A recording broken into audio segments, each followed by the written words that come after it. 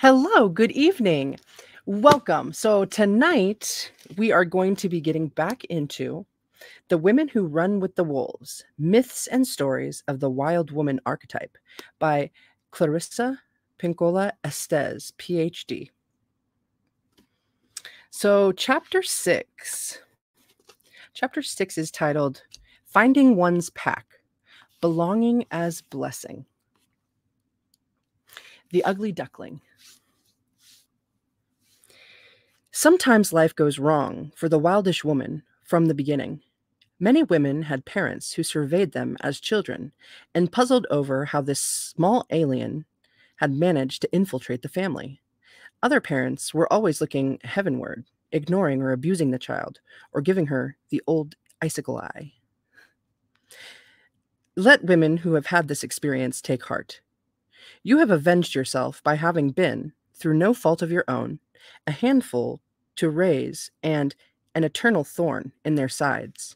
And perhaps even today, you are able to inspire them to abject fear when you come a knockin'. That's not too shabby as innocent retribution goes. See to it now that you spend less time on what they didn't give you and more time on finding the people you belong to. You may not belong to your original family at all. You may match your family genetically, but temperamentally, you may belong to another group of people, or you may belong to your family perfunctor- per- perfunctorily while your soul leaps out, runs down the road, and is gluttonously happy munching spiritual cookies somewhere else. Hans Christian Andersen wrote dozens of literary stories about children who were orphans.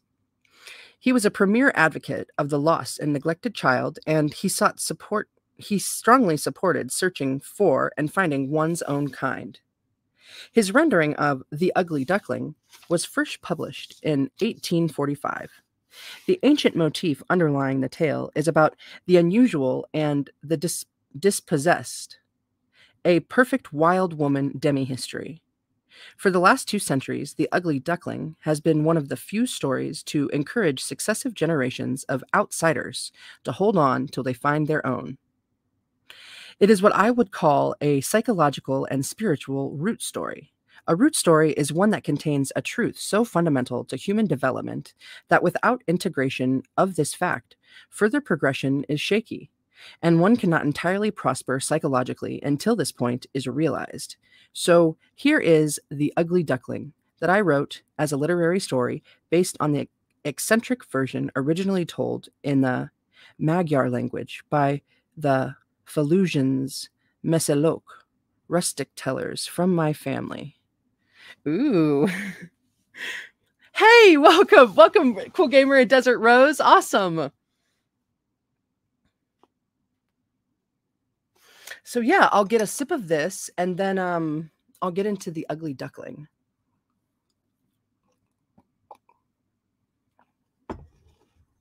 Mm. The ugly duckling. It was near the time of the harvest. The old women were making green dolls from the corn sheaths or sheaves.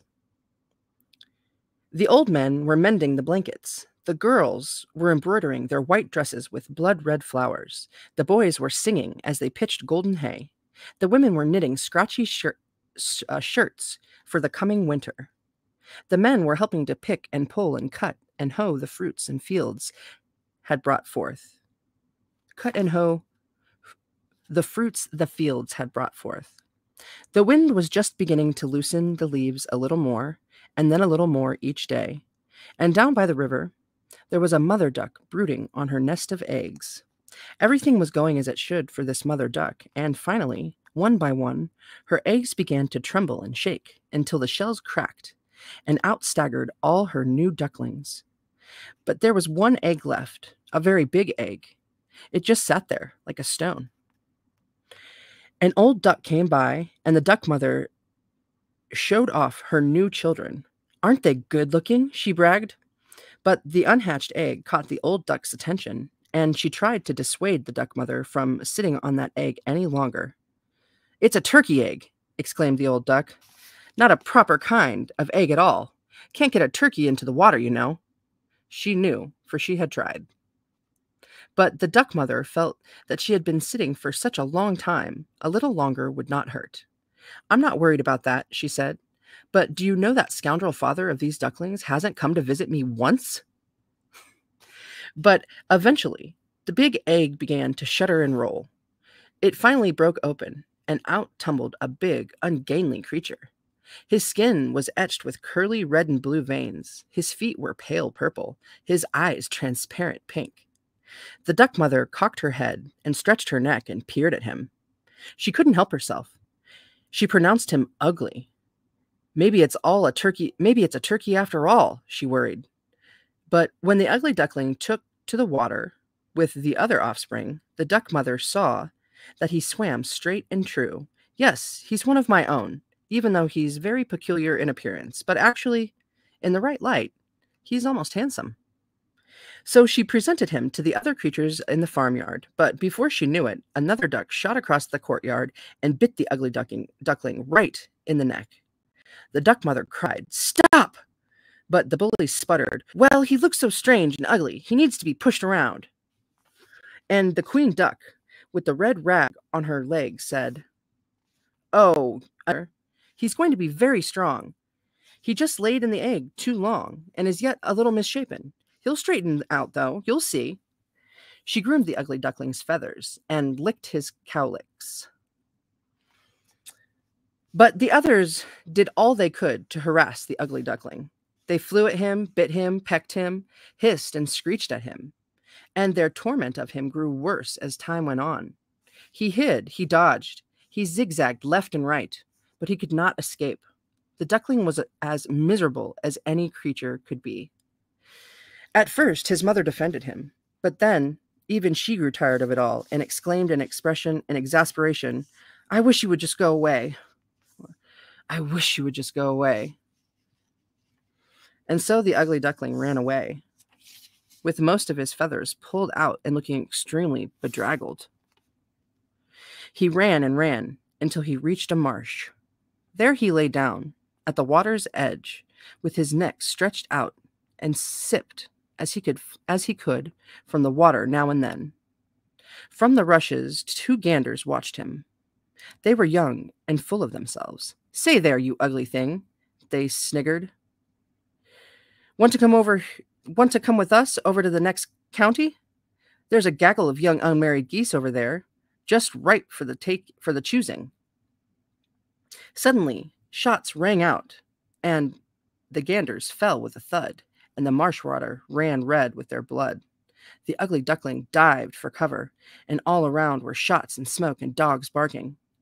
At last the marsh became quiet, and the duckling ran and flew as far away as he could.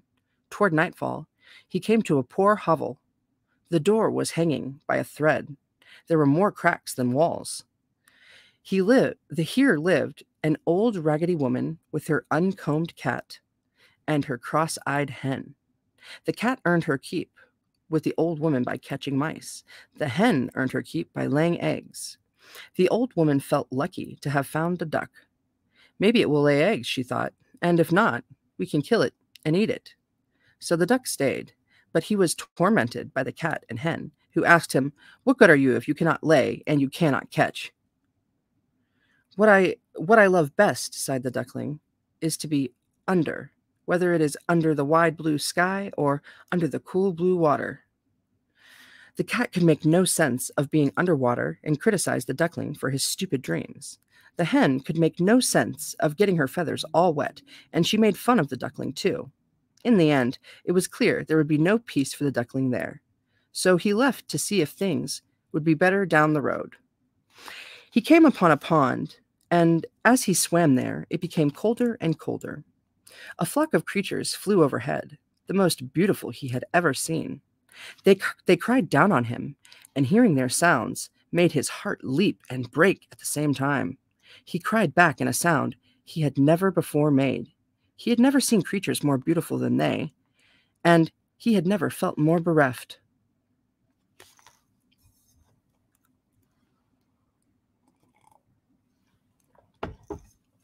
Yay! Welcome in, Angel Fish.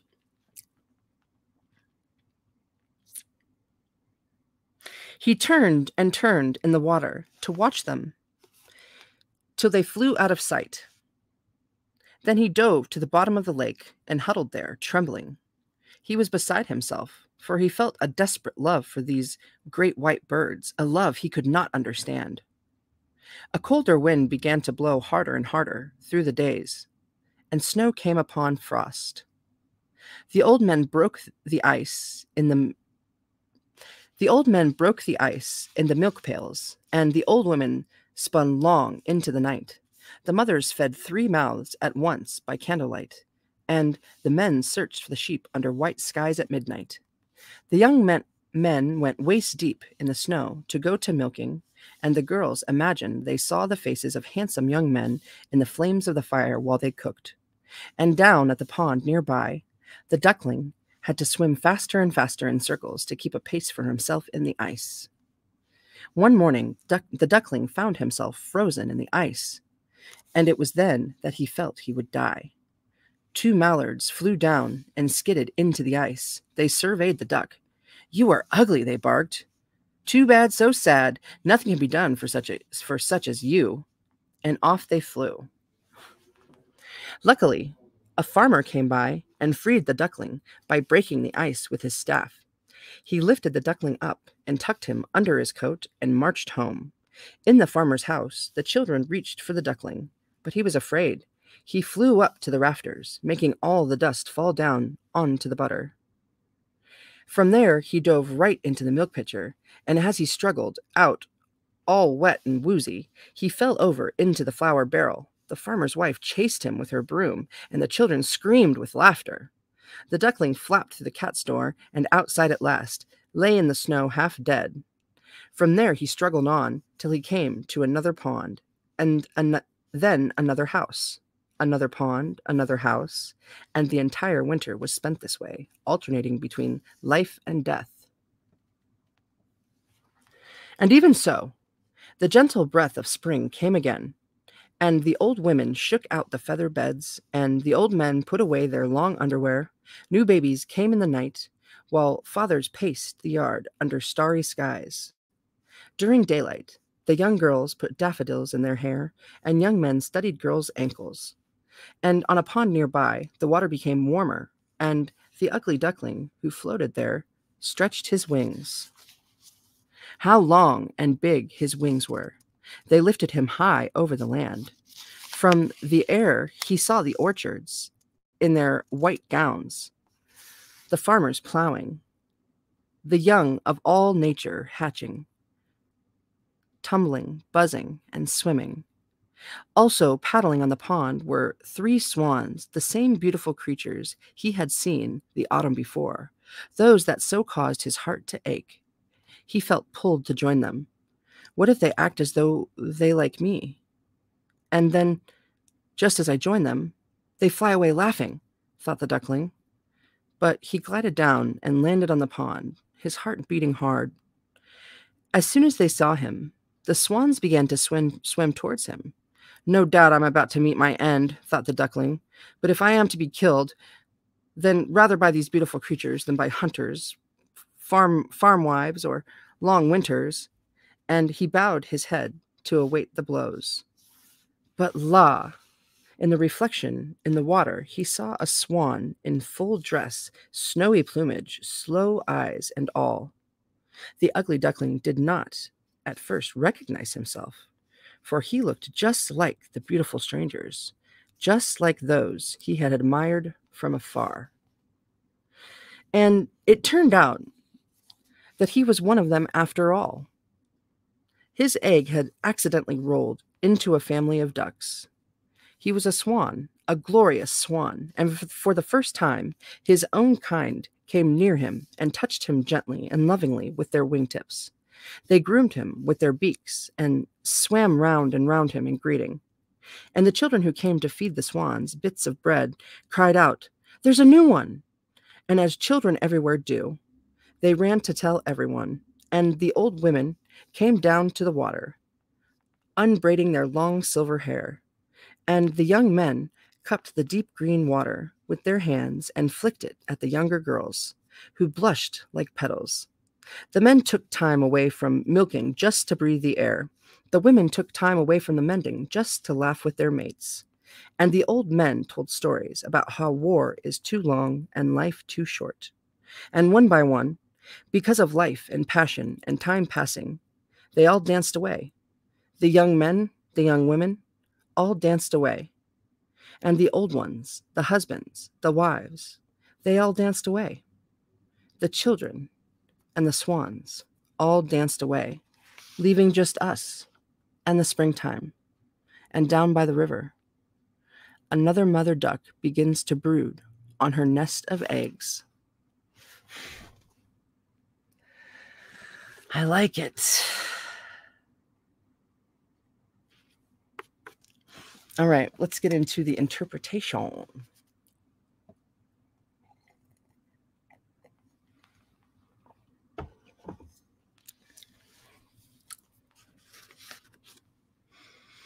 The problem of the exiled one is, per, uh, how do you how do you pronounce it? Primeval, primeval.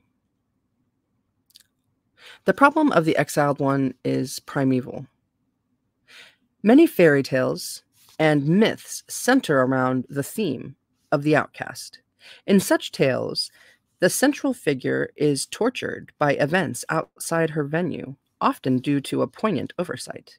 In The Sleeping Beauty, the 13th fairy is overlooked and not invited to the christening, which results in a curse being placed upon the child, effectively exiling everyone in one way or another.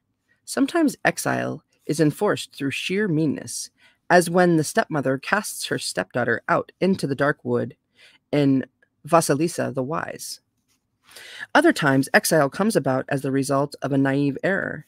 The Greek god Hephaestus took his mother's, Hera's side in an argument with Zeus. Her husband, Zeus, became infuriated and hurled Hephaestus off Mount Olympus, banishing and crippling him. Sometimes exile comes from striking a bargain one does not understand, such as in the tale of a man who agrees to wander as a beast for a certain number of years in order to win some gold, and later discovers he's given his soul to the devil in disguise.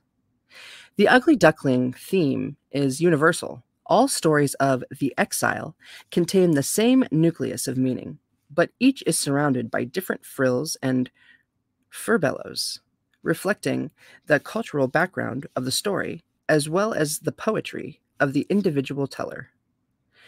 The core meaning we are concerned with are these. The duckling of the story is symbolic of the wild nature, which, when pressed into circumstances of little nurture, instinctively strives to continue no matter what. The wild nature instinctively holds on and holds out, sometimes with style, other times with little grace, but holds on nevertheless. And thank goodness for that. For the wildish woman, duration is one of her greatest strengths. The other important aspect of the story is that when an individual's particular kind of soulfulness, which is both an instinctual and a spiritual identity, is surrounded by psychic acknowledgement and acceptance. That person feels life and power as never before. So there's a word up here I really want to look up, even though I, I'm enjoying the read. Fur something. Where is it?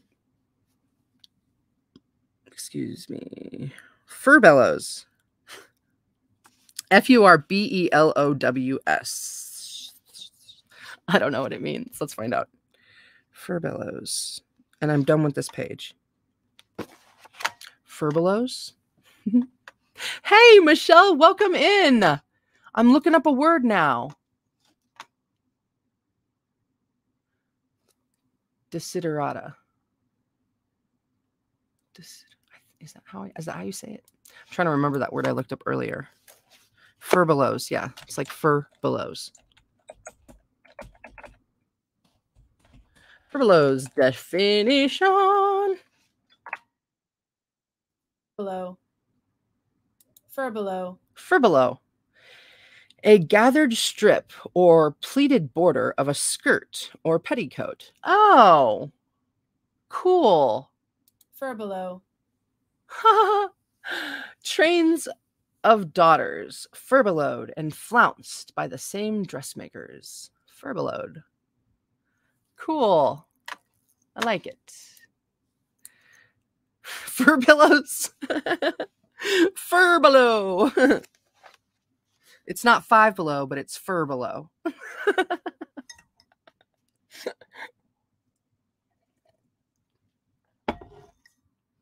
so I finished this page. So that person feels life and power as never before. Ascertaining one's own psychic family brings a person vitality and belongingness. Exile of the unmatched child. In the story, the various creatures of the village peer at the ugly duckling and, one way or another, pronounce him unacceptable. He is not ugly in reality, but he does not match the others. He is so different that he looks like a black bean in a bushel of green peas. The mother duck at first tries to defend this duckling, whom she believes to be her offspring, but finally she is profoundly divided emotionally and withdraws from caring for the alien child. His siblings and others of his community fly at him, peck at him, torment him. They mean to chase him away, and the ugly duckling is heartbroken, really, to be rejected by his own. It is a terrible thing, especially since he really did nothing to warrant it other than look different and act a little different. If truth be told, we have here, before this creature is even half grown, a duckling with a massive psychological complex. Girl children who display a strong instinctive nature often experience significant suffering in early life. From the time they are babies, they are taken they are taken captain, they are taken captive, domesticated, told they are wrong-headed and improper. Their wildish natures show up early. They are curious, artful, and have gentle eccentricities of various sorts ones that, if developed, will constitute the basis for their creativity for the rest of their lives.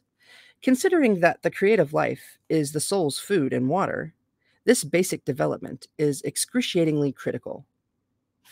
Generally, early exile begins through no fault of one's own and the exacerbated and is exacerbated by the misunderstanding, the cruelty of ignorance, or through the intentional meanness of others.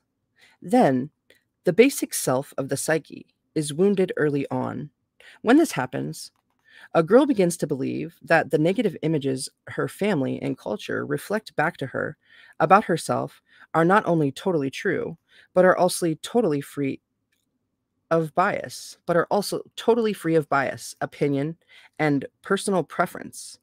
The girl begins to believe that she is weak, ugly, unacceptable, and that this will continue to be true no matter how hard she tries to reverse it.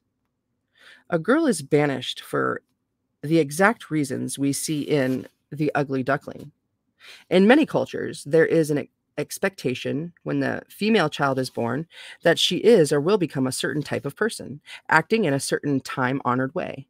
That she will have a certain set of values, which, if not identical to the family's, then at least based on the family's values, and which at any rate will not rock the boat.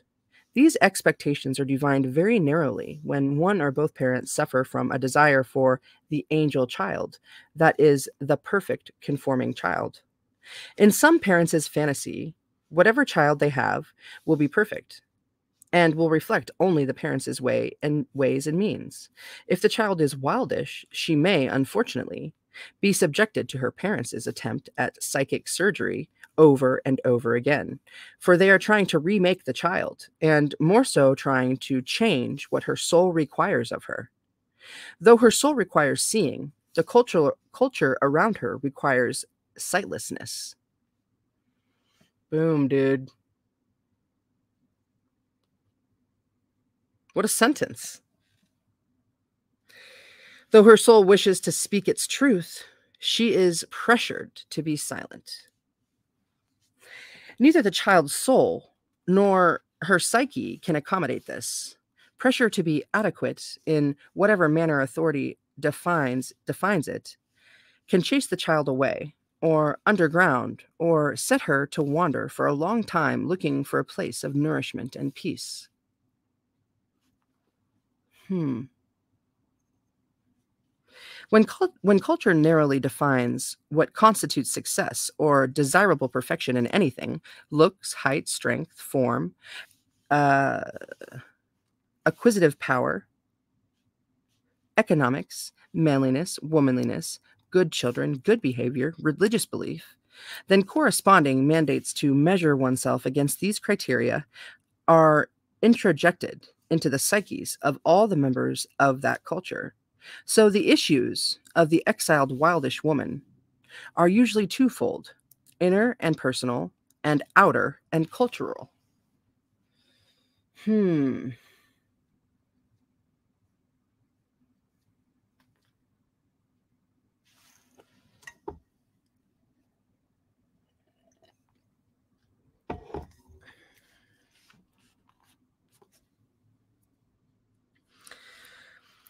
Let us attend here to the inner issues of the exile. For when one develops adequate strength, not perfect strength, but moderate and serviceable strength, in being oneself and finding what one belongs to, one can then influence the outer community and cultural consciousness in masterful ways. What is moderate strength? It is when the internal mother who mothers you isn't 100% confident about what you do next. 75% confident will do nicely. 75% is a goodly amount. Remember, we say that a flower is blooming whether it is in half, three quarters, or full bloom.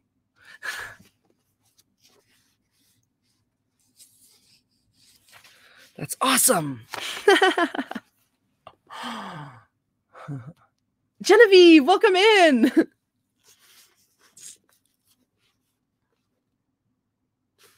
Kinds of mothers. While we can interpret the mother in the story as symbolic of one's external mother, most who are grown up now have as a legacy from their actual mother an internal mother. This is an aspect of psyche that acts and responds in a manner identical to a woman's experience in childhood with her own mother.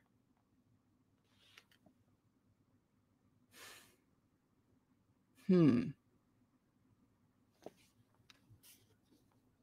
Further, this internal mother is made from not only the experience of the personal mother, but also other mothering figures in our lives, as well as the images held out as the good mother and the bad mother in the culture at the time of our childhoods. For most adults, if there was trouble with the mother once, but there is no more, there is still a duplicate mother in the psyche who sounds, acts, responds the same as in early childhood, even though a woman's culture may have evolved into more conscious reasoning about the role of mothers.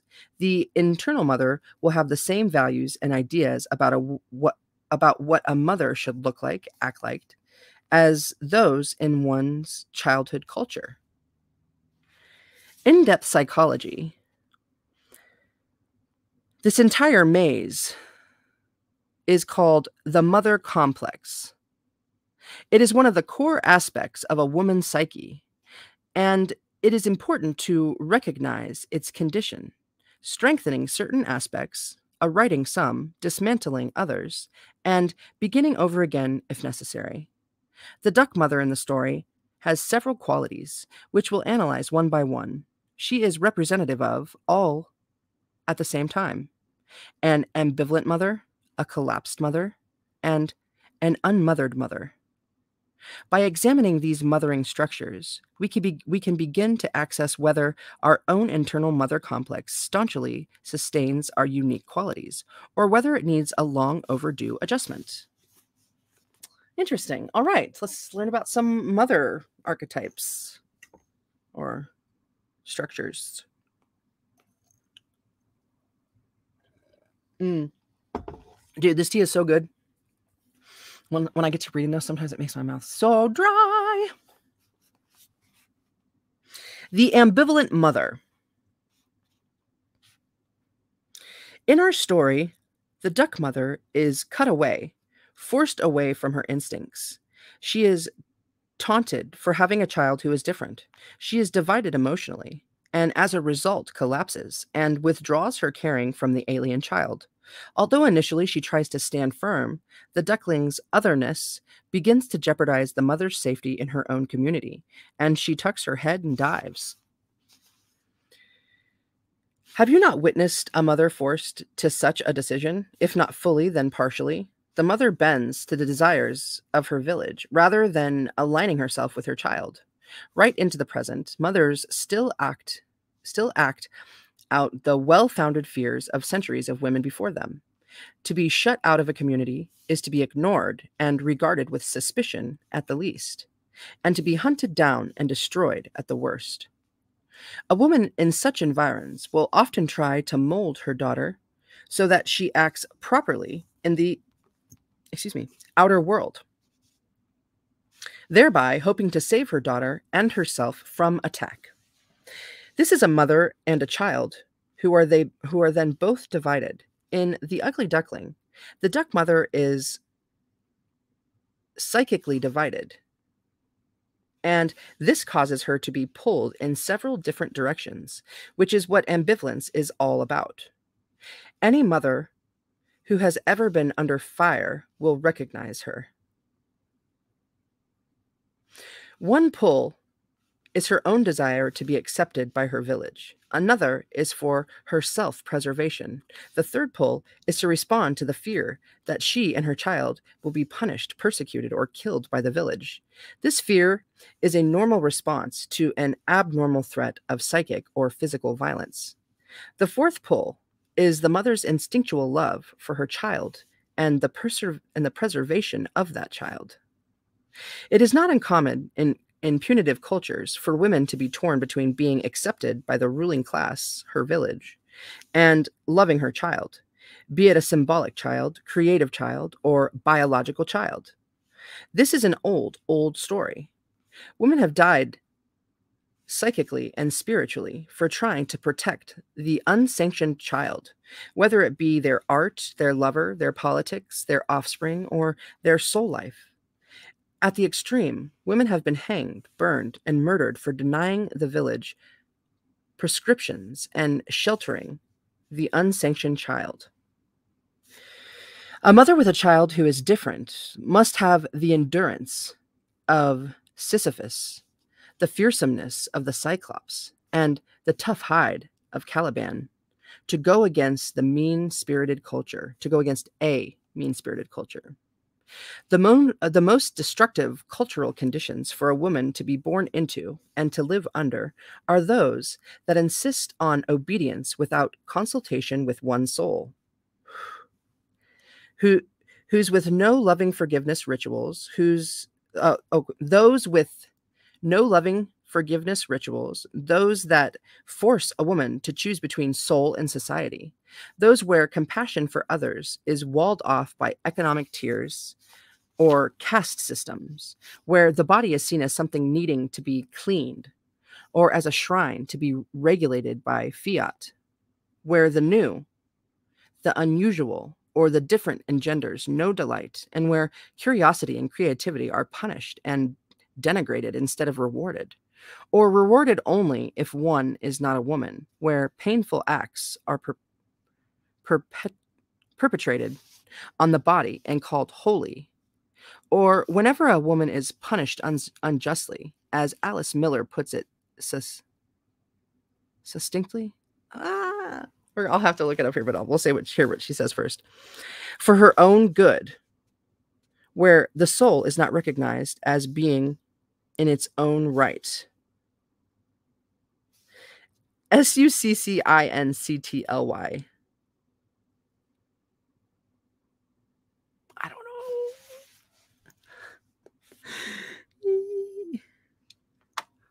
So we looking it up, and I see where I am. The very first paragraph. S U C C. I think. Where'd you go? Yeah, C C I N C T.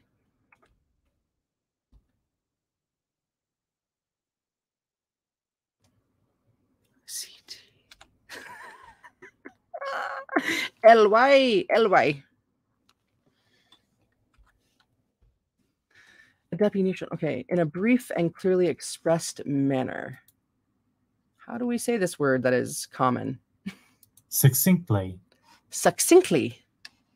Succinctly. Succinctly. Succinctly. Lay. Succinctly. Lay.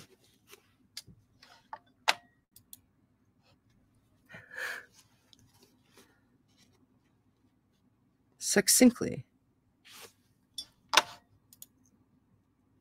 In a brief and clearly expressed manner. Succinctly.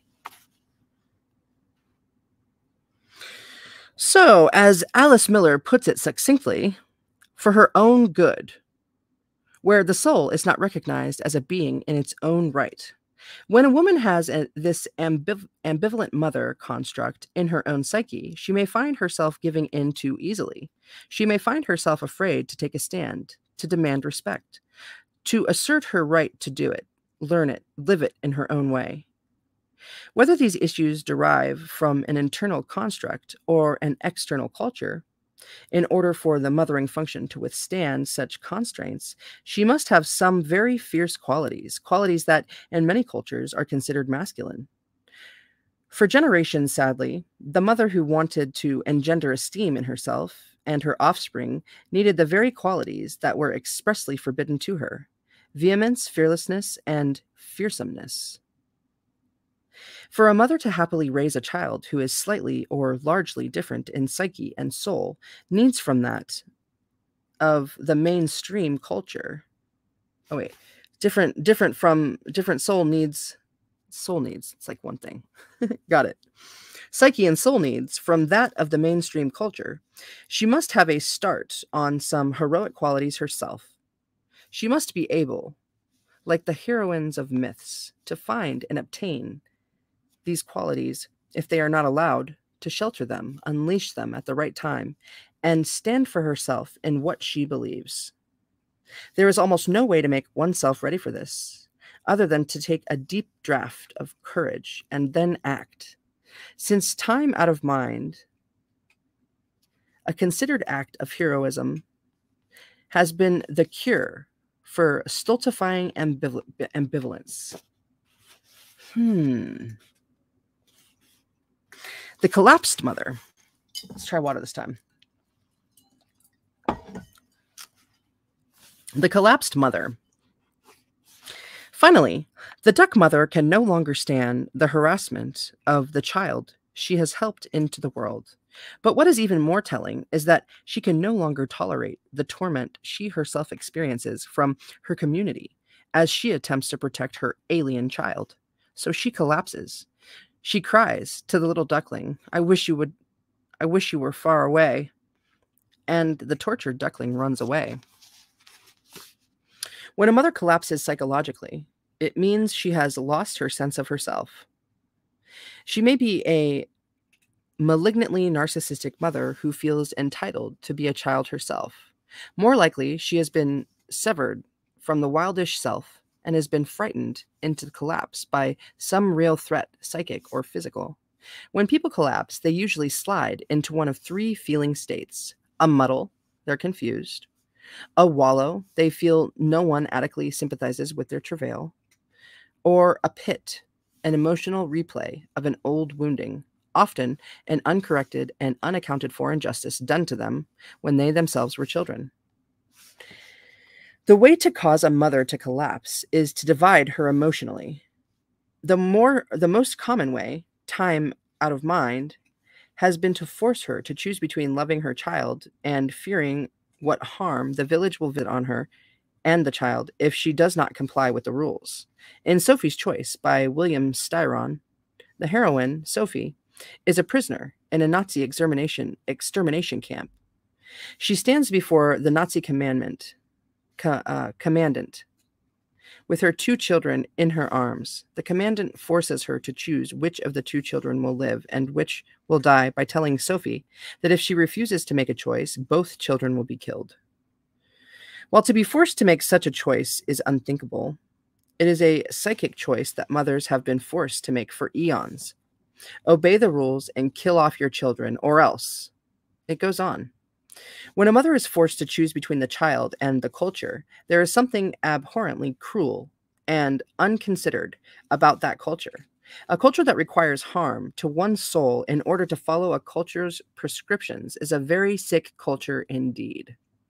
This culture can be the one a woman lives in, but more damning yet, it can be the one she carries around and compiles with within her own mind.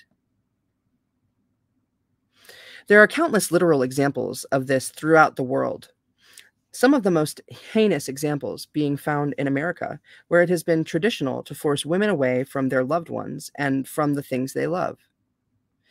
There was the long and ugly history of breaking families forced into slavery in the 18th, 19th, and 20th centuries.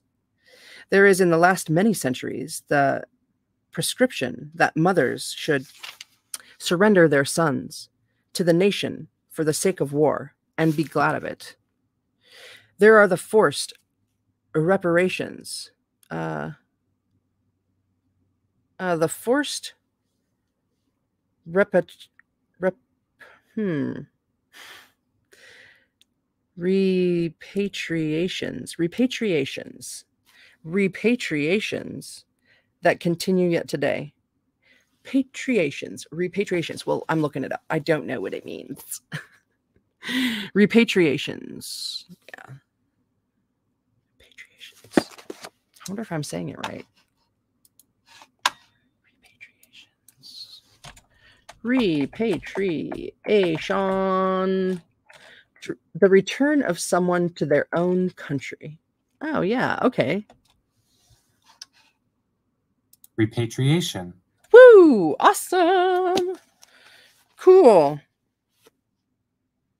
So, yeah. The return of someone to their own country.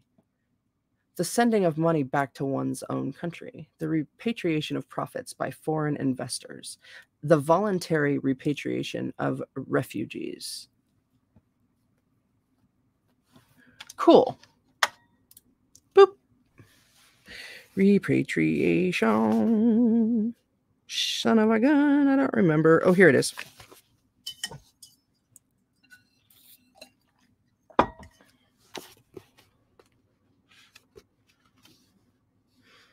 There are the forced repatriations that continue yet today. There have been various fashions at various times throughout the world that prescribe that a woman should not be allowed to love and shelter whomever she loves and in whichever way she wishes. One of the least spoken about oppressions of women's soul lives concern oh lives shit one of the least spoken about oppressions of women's soul is it what did i say soul lives concerns millions of unmarried mothers or never married mothers throughout the world, including the United States, who, in this century alone, were pressured by cultural mores to hide their children, or to hide their condition or their children, or else to kill or surrender their offspring, or to live a half life under assumed identities, and as reviled and disempowered citizens. Damn, Bean, what? I know, I know, right?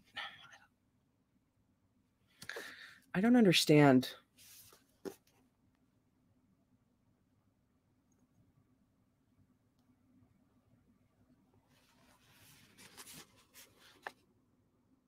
Okay, so I'm gonna reread that whole that whole paragraph since I struggled so hard through it. Hopefully, I can make it better, make it through better this time, even though it's okay. One of the least spoken about oppressions of women's soul, soul lives, mother of pearls, concerns millions of unmarried mothers or never married mothers throughout the world, including the United States, who, in this century alone, were pressured by cultural mores to hide their condition or their children, or else to kill or surrender their offspring, or to live a half life under assumed identities and as reviled for disempowered and disempowered citizens. For generations, women accepted the role of legitimizing humans through marriage to a man. They agreed that a human was not acceptable unless a man said so. Dude, I feel like my blood's boiling right now.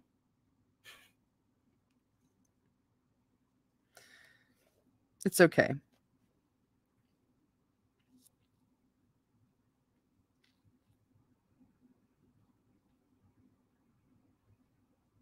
Right, perspectives, man. Ladies. Oh. Right. I mean,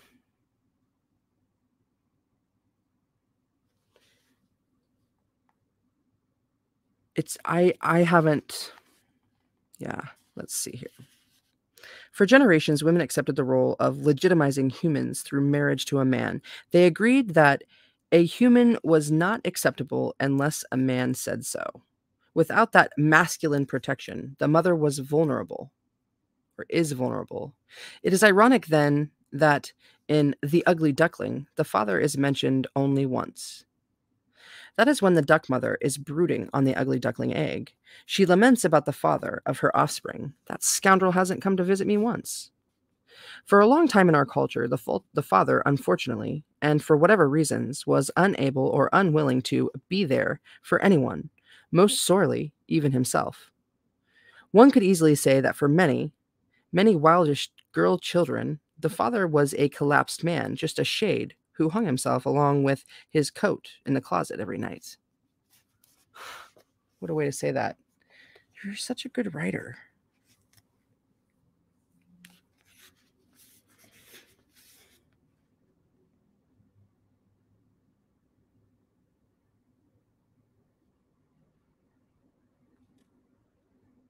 You know what though? I don't I never I don't know. I don't know, never. That's a pretty strong word. Yeah, just the ideas of children out of wedlock and you know what that you know like i was i was even taught through you know my upbringing and how my grandparents have been and i've seen and yeah and how it means like if you were to have a baby out of wedlock that you know what now you're a big embarrassment? What? Now your soul's in danger or something? What a gift, right? All the things that have to transpire into the making of a human. So magic.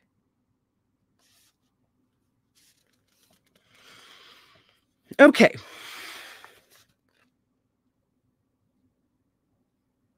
transpire, conspire. Mm-mm-mm-mm. When a woman has a collapsing mother construct within her psyche and or her culture, she is wobbly about her worth. She may feel that choices between fulfilling outer demands and the demands of her soul are life and death issues. She may feel like a tormented outsider who belongs nowhere, which is relatively normal for the exile. But what is not normal is to sit down and cry about it and do nothing. One is supposed to get to one's feet and go off in search of what one belongs to. For the exile, that is always the next step. And for a woman with an internalized collapsing mother, it is the quintessential step. If a woman has a collapsing mother, she must refuse to become one to herself also.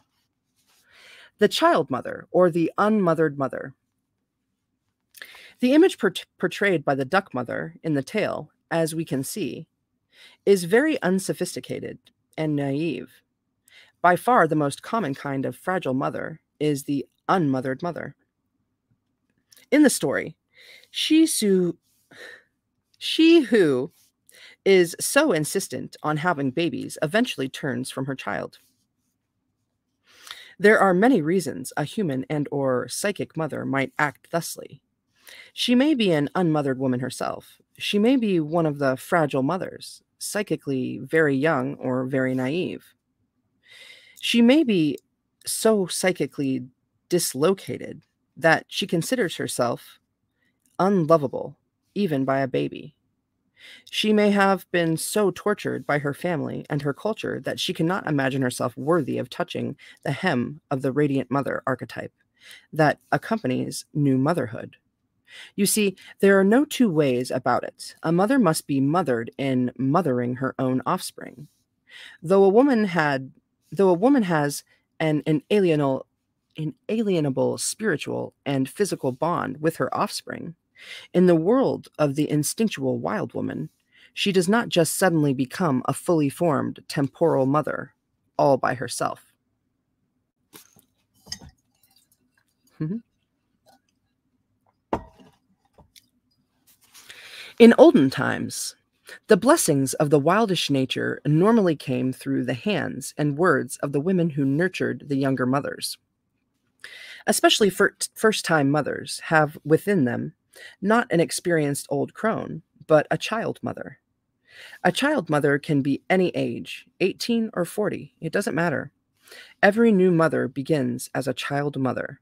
A child mother is old enough to have babies and has good instincts in the right decision, but she needs the mothering of an older woman or women who essentially prompt, encourage, and support her in her mothering of her children. For eons, this role was served by the older women of the tribe or village. These human goddess mothers, who were later regulated or relegated by religious institutions to the role of godmother, constituted an essential female to female nutritional system that nourished the young mothers in particular, teaching them how to nourish the psyches and souls of their young in return.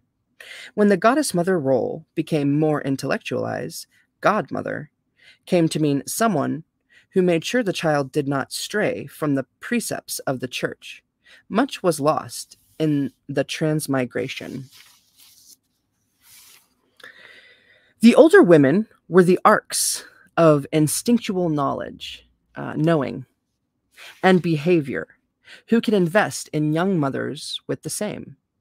Women give this knowing to each other through words, but also by other means.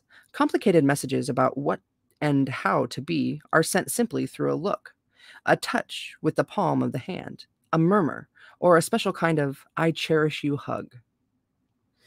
The instinctual self always blesses and helps those who come after. It is this way among healthy creatures and among healthy humans.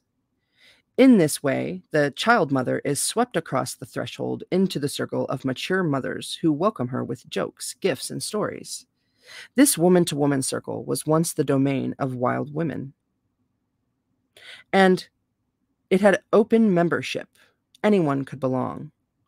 But all we have left of this today is the little tatter called a baby shower, where all the birthing jokes, mother gifts, and genitalia stories are squeezed into two hours' time, no longer available to the woman throughout her entire lifetime as a mother.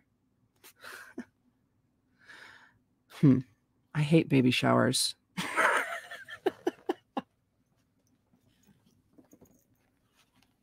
but not as much as I hate reveal parties, dude. I don't know. What is that? Does that make me a bad person?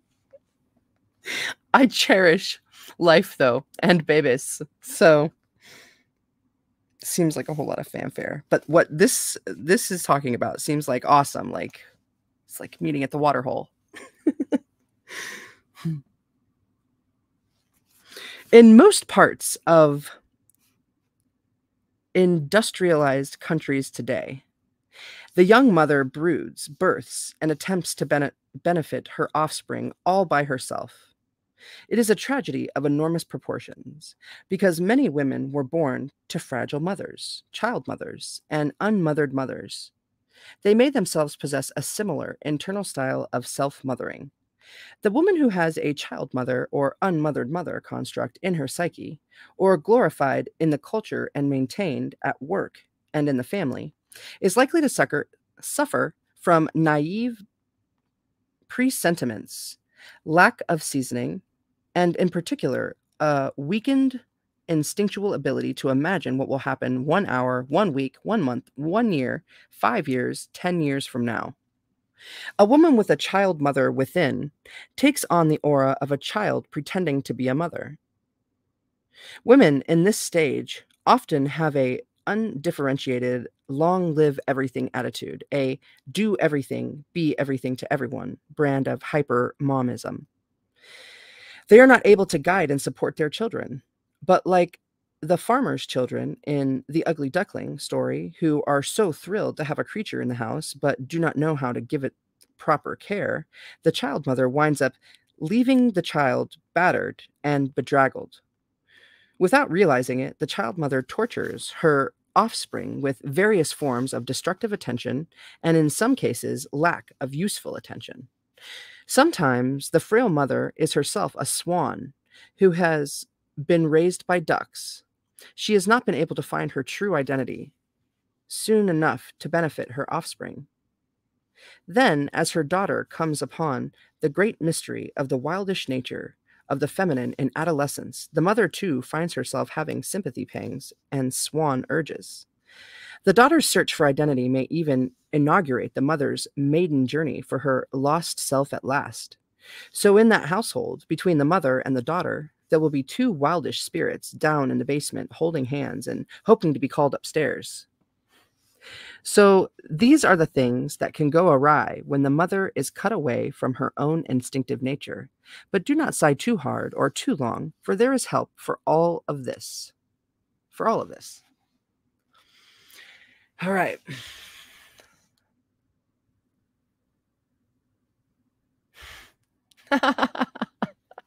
yeah, man. Surprise! oh, Lord. All right. The strong mother, the strong child. The remedy is in gaining mothering for one's young internal mother. This is gained from actual women in the outer world who are older and wiser, and preferably who have been tempered like steel. They are fire hardened for having gone through what they have gone through, Regardless of the cost, even now, their eyes see, their ears hear, their tongues speak, and they are kind. Even if you had the most wonderful mother in the world, you may eventually have more than one. As I have often told my own daughters, you are born to one mother, but if you are lucky, you will have more than one. And among them all, you will find most of what you need. Your relationships with todas las madres, the many mothers, will most likely be ongoing ones, for the need of guidance and advisory is never outgrown, nor from the point of view of women's deep creative life should it ever be. Relationships between women, whether the women share the same bloodlines or are psychic soulmates, whether the relationship is between analyst and analysand, between teacher and apprentice, or between kindred spirits, are kindred relationships of the most important kind. While some who write in Psychology Today tout the leaving of the entire mother matrix as though it were a coup that, if not accomplished, taints one forever, and though some say that denigration of one's personal mother is good for an individual's mental health, in truth, the construct and concept of the wild mother can never and should never be abandoned. For if it is, a woman abandons her own deep nature and one with all the knowing in it, all the bags of seeds, and all the needles for mending, all the medicines for work and rest and love and hope. Rather than disengaging from the mother, we are seeking a wild and wise mother. We are not, cannot be, separate from her. Our relationship to this soulful mother is meant to turn and turn, and to change and change, and it is a paradox. This mother is a school we are born into, a school we are students in, a school we are teachers at, all at the same time and for the rest of our lives. Whether we have children or not, whether we nourish the garden, the sciences, or the thunder world of poetics, we always brush against the wild mother on our way to anywhere else. And this is as it should be. But what shall we say for the woman who truly has had an experience of destructive mothering in her own childhood? Of course, that time cannot be erased, but it can be eased. It cannot be sweetened up, but it can be rebuilt strongly and properly now. It is not the rebuilding of the internal mother that is so frightening to so many, but rather the fear that something essential died back then, something that can never be brought back to life, something that received no nourishment, for psychically one's own mother was deaf herself, or dead herself. For you, I say, be at peace. You are not dead. You are not lethally injured. As in nature, the soul and the spirit have resources that are astonishing. Like wolves and other creatures, the soul and spirit are able to thrive on very little, and sometimes for a long time on nothing. To me, it is the miracle of miracles that this is so. Once I was transplanting a hedgerow of lilac. One great bush was dead from a mysterious cause, but the rest were shaggy with purple in springtime. The dead one cracked and crumbled like peanut brittle as I dug it out.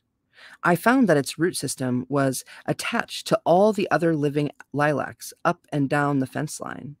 Even more astounding, the dead one was the mother.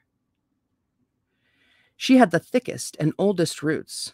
All her big babies were doing fine, even though she herself was botas arribas, boots up, so to speak. Lilacs reproduce with what is called a sucker system. So each tree is a root offshoot from the primal parent. In this system, even if the mother fails, the offspring can survive. This is the psychic pattern and promise for those with little or no, as well as those who have had torturous mothering. Even though the mother somehow falls over, even though she has nothing to offer, the offspring will develop and grow independently and still thrive. Hmm. Bad company. The ugly duckling goes from pillar to post, trying to find a place to be at rest. While the instinct about exactly where to go may not be fully developed, the instinct to rove until one finds what one needs is well intact. Yet there is a kind of pathology sometimes in the ugly duckling syndrome. One keeps knocking at the wrong doors even after one knows better. It is hard to imagine how a person is supposed to know which doors are the right doors if one has never known a right door to begin with. However, the wrong doors are those that cause you to feel the outcast all over again. Hmm. This is the looking for love in all the wrong places response to exile. When a woman turns to repetitive compulsive behavior, repeating over and over again a behavior that is not fulfilling, that causes decline instead of sustained vitality, in order to salve her exile, she is actually causing more damage because the original wounded state is not being attended to, and she incurs new wounding with each for- foray. This is like putting some puny medicine on your nose when you have a gash on your arm. Different women choose different kinds of wrong medicine. Some choose the obviously wrong, such as bad company, overindulgences indulgences that are harmful, or soul stealing. Things that first build a woman way up and then tear her down to ground zero minus five. The solutions to these bad choices are sevenfold. If the woman were able to sit herself down and peer into her own heart, she would see there is a need to have her talents, her gifts, and her limitations respectfully acknowledged, acknowledged and accepted. So to begin healing, stop kidding yourself that a little feel good of the wrong sort will take care of a broken leg. Tell the truth about your wound. And then you will get a truthful picture of the remedy to apply to it. Don't pack whatever is easiest or most available into the emptiness. Hold out for the right medicine. You will recognize it because it makes your life stronger rather than weaker. Not looking right. Like the ugly duckling, an outsider learns to stay away from situations where one may be able to act right but still doesn't look right. The duckling, for instance, can swim well but still doesn't look right Conversely, a woman may look right, but may not be able to act right.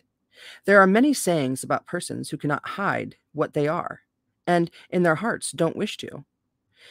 All the way from the East Texan You can dress 'em up, but you can't take 'em out. To the Spanish, she was a woman with a black feather under her skirt. In the story, the duckling begins to act like a dumbling, the one who can't do anything right. He flaps dust into the butter and falls into the flour barrel, but not until he has first fallen into the milk pitcher.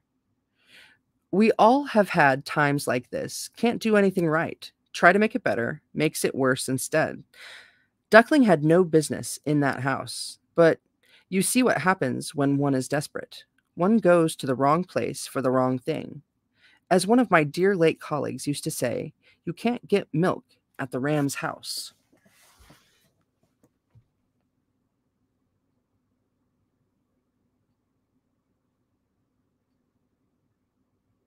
It's like I don't remember. I'm thinking about that. Um,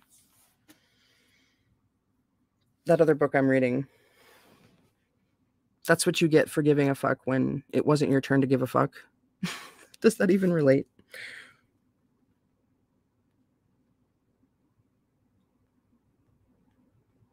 Can't get milk at the Ram's house. All right. While it is useful to make bridges, even to those groups one does not belong to, and it is important to try to be kind, it is also imperative to not strive too hard, to not believe too deeply that if one acts just right, if one manages to tie down all the itches and twitches of the wildish creatura, that one can actually pass for a nice, restrained, subdued, and demure lady woman. It is that kind of acting, that kind of ego wish to belong at all costs, that knocks out the wild woman connection to the psyche. Then instead of a vital woman, you have a nice woman who is declawed. Then you have a well behaved, well meaning, nervous woman panting to be good. No, it is better, more graceful, and far more soulful to just be what and what and as you are and let the other creatures be what they are too. uh, frozen feeling, frozen creativity. Lim, uh, women deal with exile in other ways, like the duckling who became frozen in the ice of the pond. They freeze up. Freezing up is the worst thing a person can do. Coldness is the kiss of death to creativity, relationship, life itself.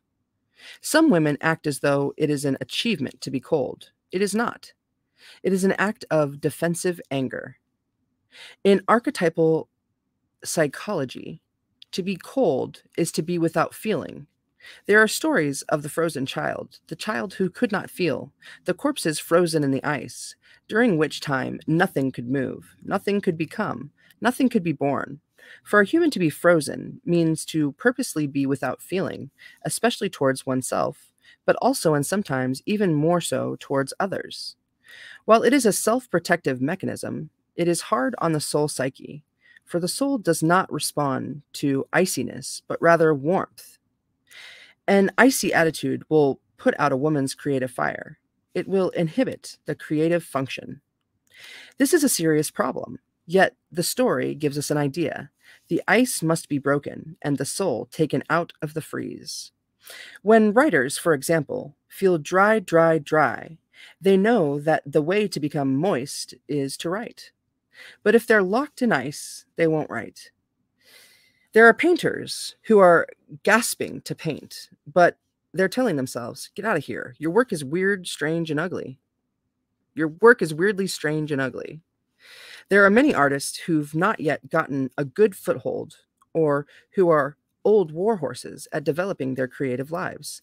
And yet, and still, every time they reach for the pen, the brush, the ribbons, the script, they hear, You're nothing but trouble. Your work is marginal and completely unacceptable because you yourself are marginal and unacceptable. So, what is the solution? Do as the duckling does. Do as the duckling do- does. Go ahead, struggle through it.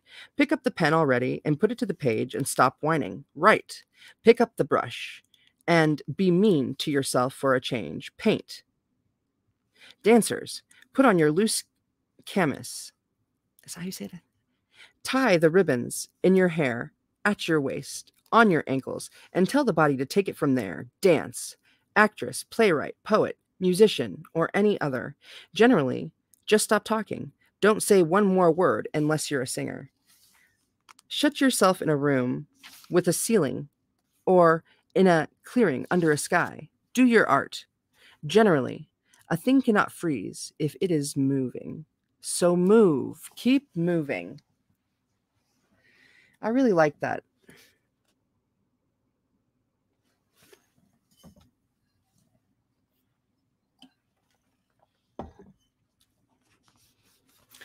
The Passing Stranger. Although in the story, the farmer taking the duck home seems to be a literary device to further the story rather than an archetypal leitmotif about exile, there is a thought here that I think is valuable. The person who might take us out of the ice, who might even psychically free us from our lack of feeling, is not necessarily going to be one whom we belong. It may be, as in the story, another of those magical but fleeting events that again came along when we least expected it an act of kindness from a passing stranger. This is another example of nourishment of the psyche that occurs when one is at the end of one's rope and cannot stand it any more. Then a something that is sustaining appears out of nowhere to assist you, and then disappears into the night, leaving you wondering was that a person or a spirit? That's kind of how I feel about that dude I met.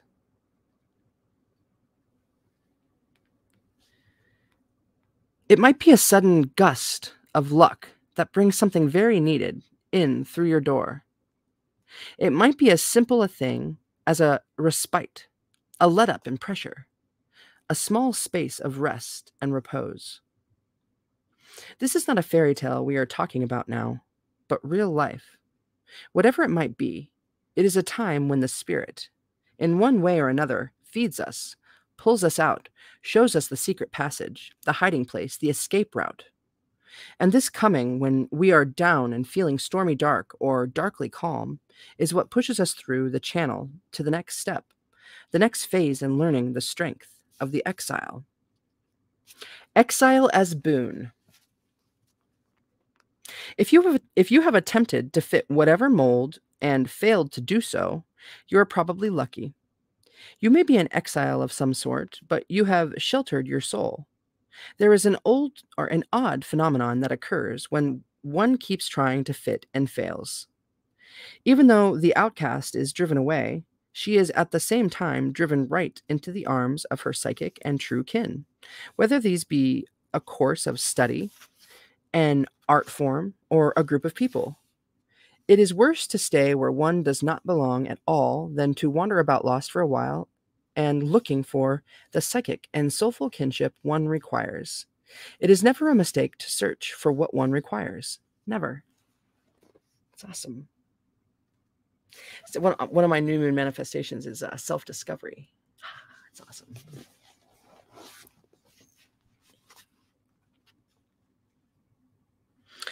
There is something useful in all this torque and tension. Something in the duckling is being tempered, being made strong by this exile. While this situation is not one we would wish on anyone for any reason, its effect is similar to pure natural carbon under pressure, producing diamonds.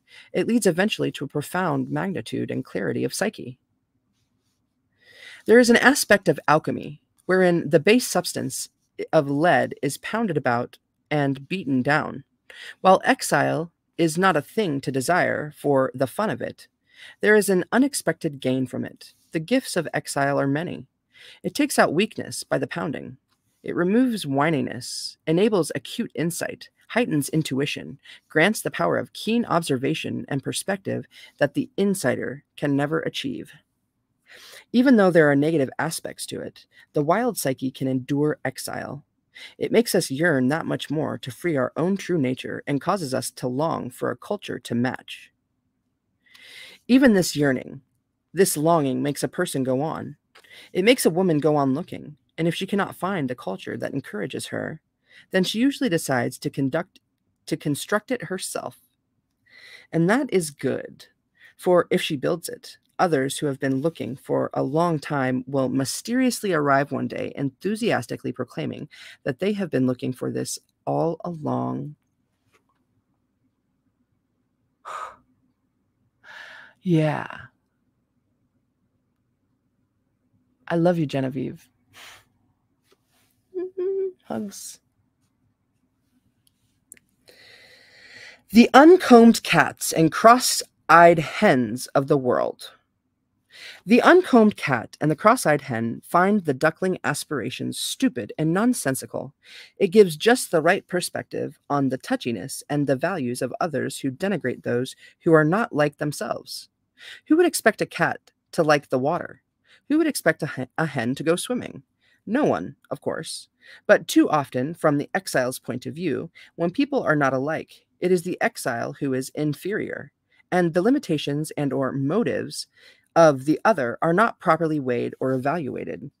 Well, in the spirit of not wanting to make one person less and another person more, or any more than we have to for the purposes of discussion, let us just say that here the duckling has the same experience that thousands of exiled women have that of a basic incompatibility with dissimilar persons, which is no one's fault, even though most women are too obliging and take it on as though it is their fault personally.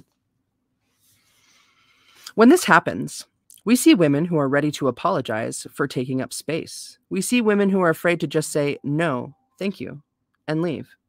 We see women who listen to someone telling them they are wrongheaded over and over again without understanding that cats don't swim and hens don't dive underwater. I must admit, I sometimes find it useful in my practice to declinate, oh, sorry, delineate the various typologies of personality as cats and hens and ducks and swans and so forth. If warranted, I might ask my client to assume for a moment that she is a swan who does not realize it. Assume also for a moment that she has been brought up by or is currently surrounded by ducks. There is nothing wrong with ducks, I assure them, or with swans, but ducks are ducks and swans are so- swans. Sometimes, to make the point, I have to move to other animal metaphors. What if you were raised by the mice people? But what if you're, say, a swan? Swans and mice hate each other's food for the most part. They each think the other smells funny. They are not interested in spending time together, and if they did, one would be constantly harassing the other. But what if you, being a swan, had to pretend you were a mouse?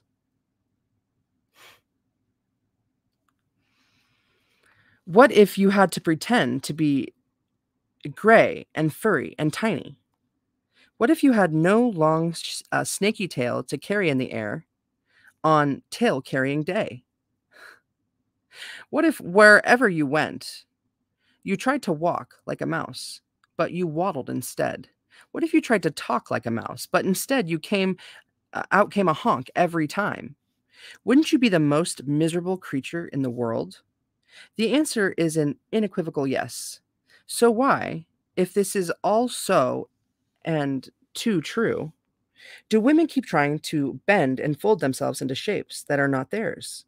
I must say, from years of clinical observation from this problem, that most of the time it is not because of deep seated masochism or a malignant dedication to self destruction or anything of that nature. More often, it is because the woman simply doesn't know any better. She is unmothered. There is a saying, Tu puedes saber muchas cosas. You can know about things, but it is not the same as sentido, possessing sense. The duckling seems to know things, but he has no sense. He is unmothered, meaning untaught at the most basic level. Remember, it is the mother who teaches by expanding the innate talents of the offspring. Offspring. Animal mothers who teach their offspring to hunt are not exactly teaching them how to hunt, for that is in their bones already, but they are teaching them what to watch out for, what to pay attention to. Those things are not known to them until the mother shows them, thereby activating new learning and innate wisdom. It is the same for the woman in exile. If she is an ugly duckling, if she is unmothered, her instincts have not been sharpened. She learns instead by trial and error, usually many trials, many, many errors. But there is hope, For you see, the exile never gives up. She keeps going till she finds the guide, the scent, till she finds the trail, till she finds home.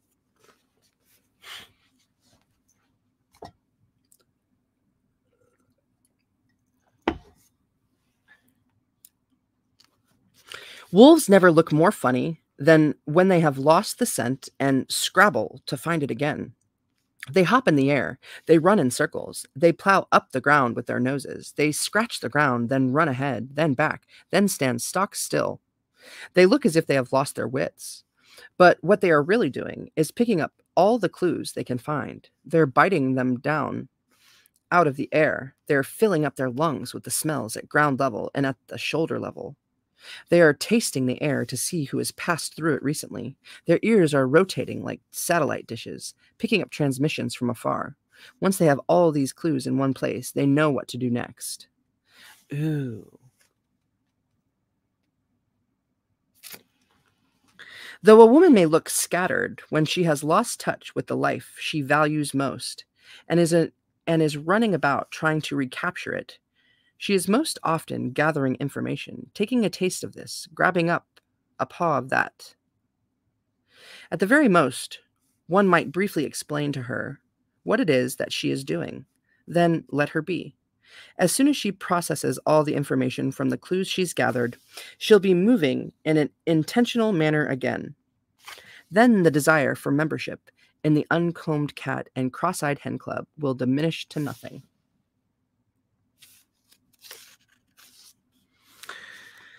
Remembrance and continuance, no matter what. We all have a longing that we feel for our own kind, our wild kind. The duckling, you will recall, ran away after being tortured without mercy. Next, he had a run in with a gaggle of geese and was almost killed by hunters.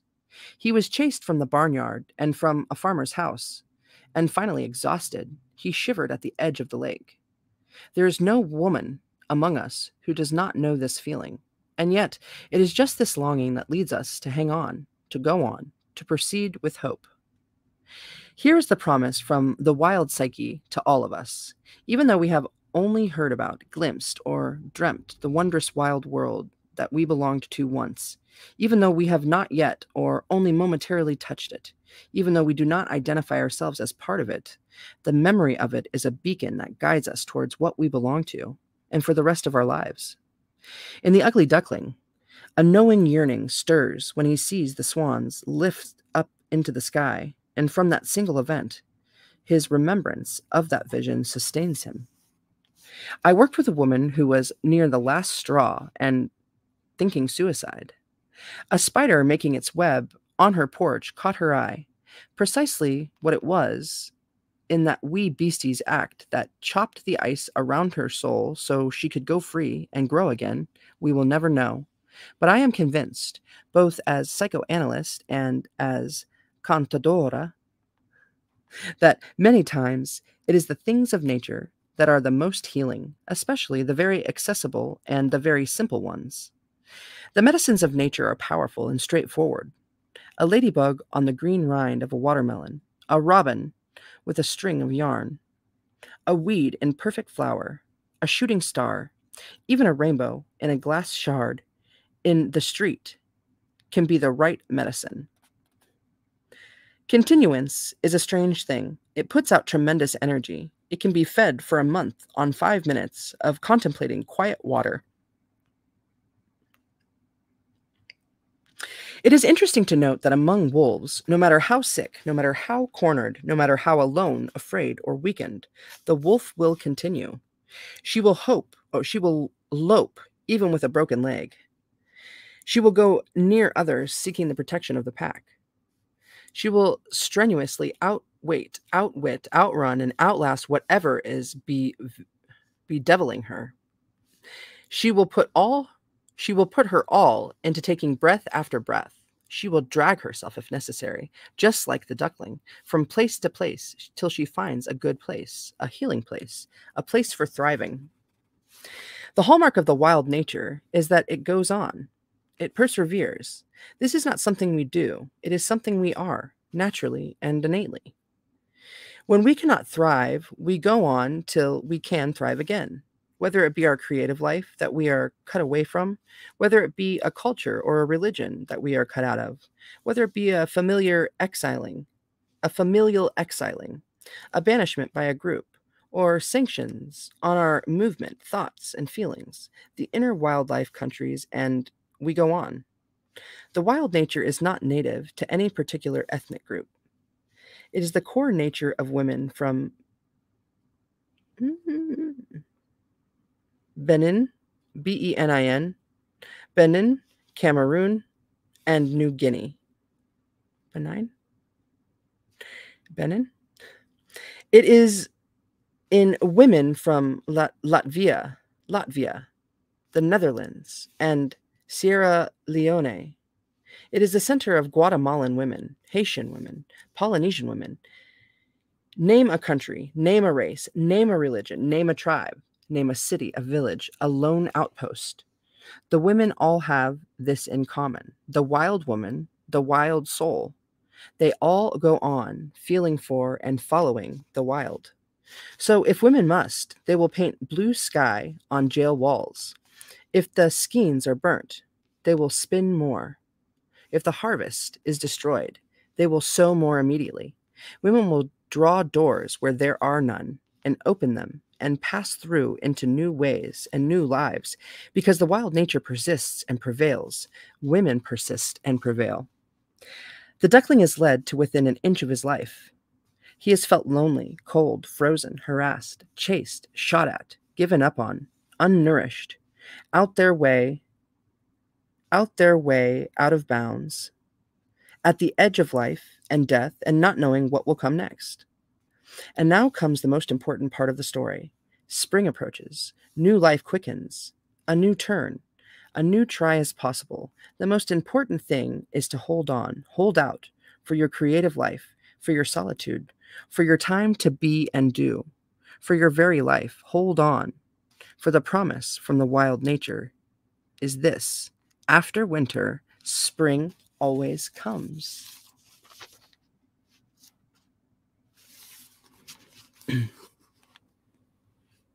wow, one and a half hour.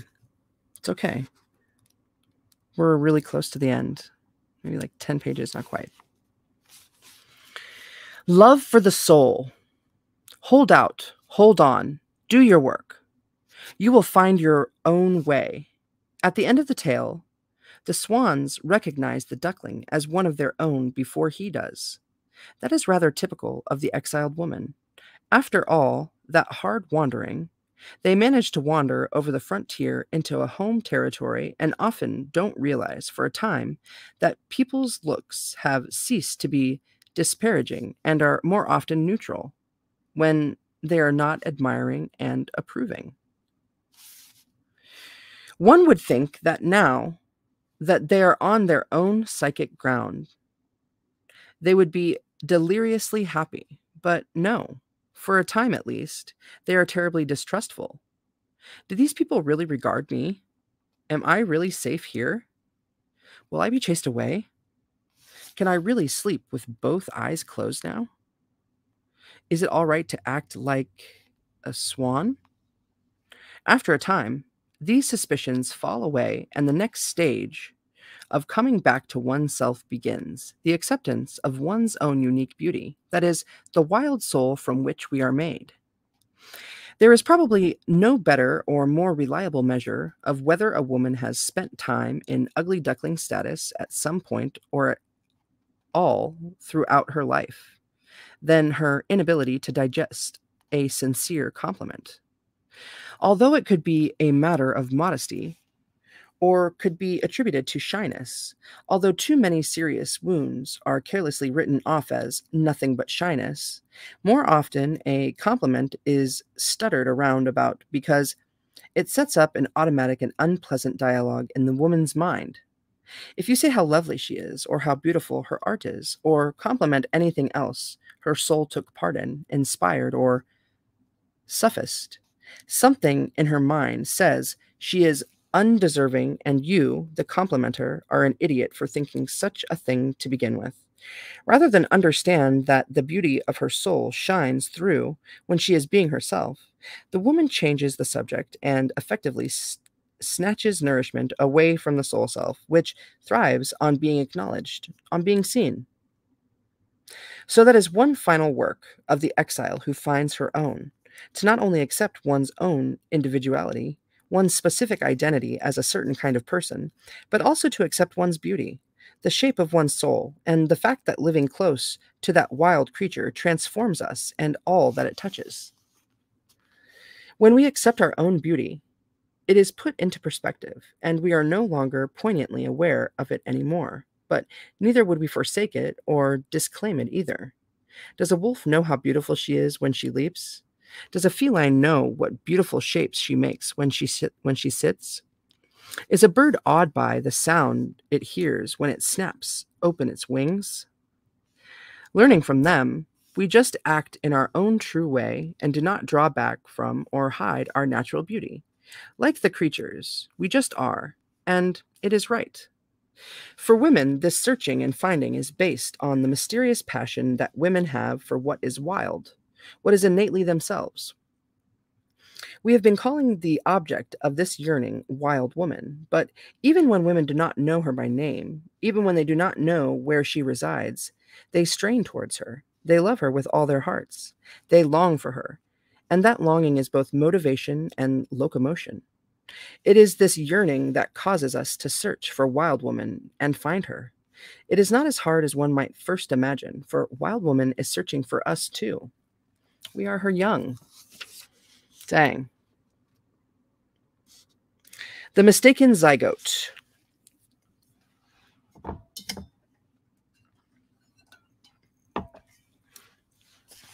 Over the years of my practice, it became clear that this issue of belonging sometimes needs to be hailed from a lighter side. From levity can shake some of the pain out of women. Oh, for levity can shake some of the pain out of women.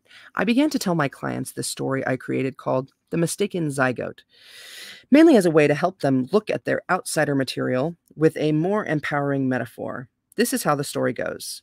Have you ever wondered how you managed to end up in such an odd family as yours? If you have lived your life as an outsider, as a slightly odd or different person, if you are a loner, one who lives at the edge of the mainstream, you have suffered. Yet there also comes a time to row away from all that, to experience a different vantage point, to emigrate back to the land of one's own kind,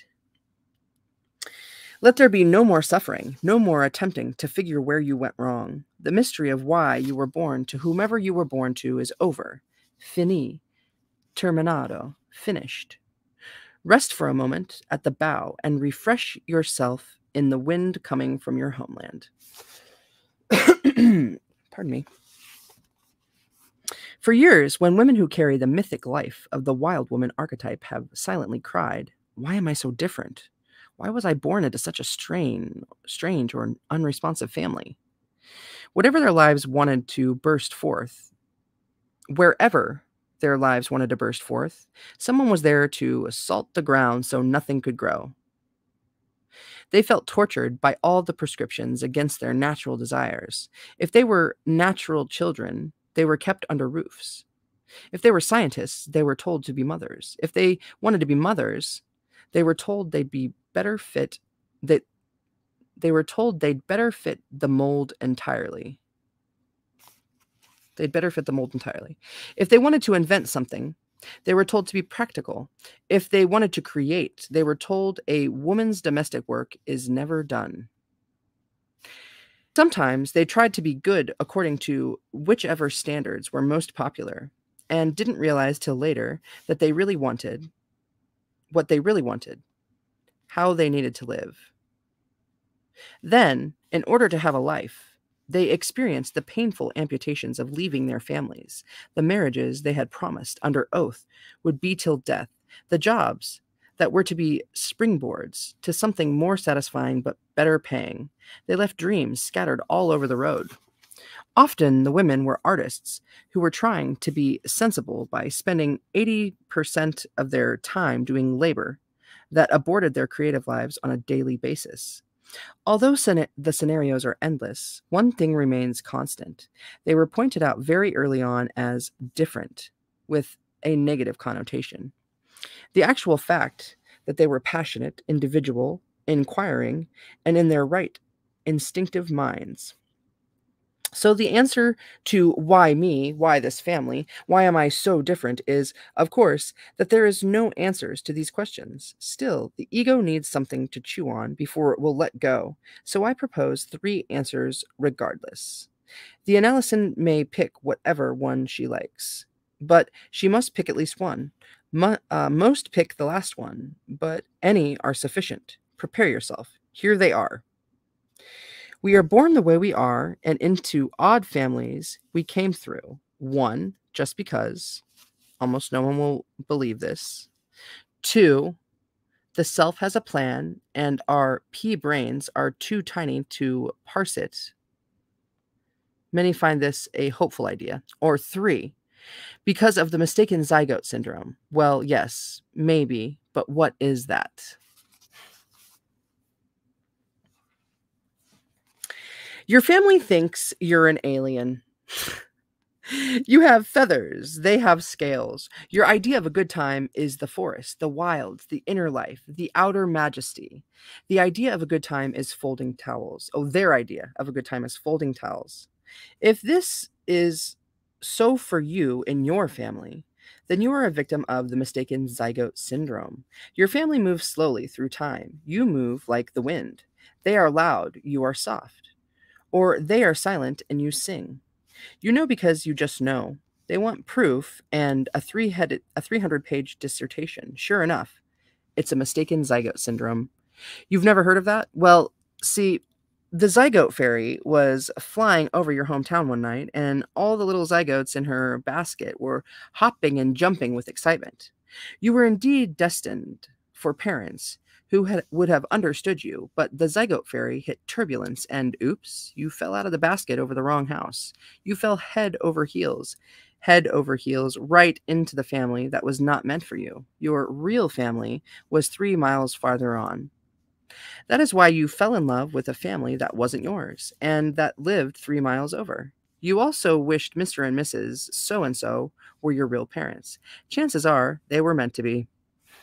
This is why you tap dance down the hallways, even though you come from a family of television spores. This is why your parents are alarmed every time you come home or call. They worry, what will she do next? She embarrassed us last time. God only knows what she will do now. Ay. They cover their eyes, then they see you coming, and it is not because your light dazzles them. All you want is love. All they want is peace. The members of your family, for their own reasons because of their preferences, innocence, injury, constitution, mental illness, or cultivated ignorance, are not so good at being spontaneous with the unconscious, and of course, your visit home conjures the trickster archetype, the one who stirs things up. So before you've even broken bread together, the trickster madly dances by just dances by, just dying to drop one of her hairs into the family stew. Even though you don't mean to upset the family, they will be upset no matter what. When you show up, everyone and everything seems to go quite mad. It is a sure sign of wild zygote in the family if the parents are offended all the time and the children feel as though they can never do anything right. The unwild family wants only one thing, but the mistaken zygote is never able to find out what that is. And if she could, it would make her hair stand up in exclamation points. Prepare yourself. I will tell you this big secret. This is what they really want from you that mysterious, momentous thing, that unwild want consistency. They want you to be exactly the same today as you were yesterday. They wish you not to change with the days, but to remain as at the beginning of streaming time. Ask the family if they want consistency, and they will answer affirmatively. In all things, no, they will say, only in the things that matter. Whatever these things are that count in their value systems, they are too often anathema, anathema to the wild nature of women. Unfortunately, the things that matter to them are not cohesive with the things that matter to the wild child. So I got to look that word up. Anathema. It's like a knife or uh, let's. A N A T H E M A.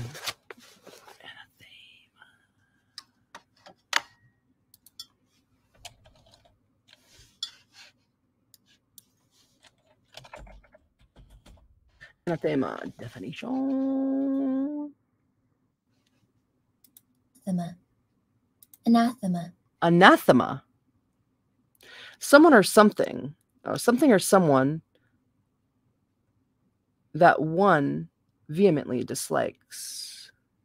A formal curse by a pope or council of the church excommunicating a person or denouncing a doctrine. Anathema. Wow. Okay. Someone or something that one vehemently dislikes. Radical hatred was anathema to her. Anathema. Anathema. Nephilim. Okay, YouTubes. Oh, here we go. Anathema.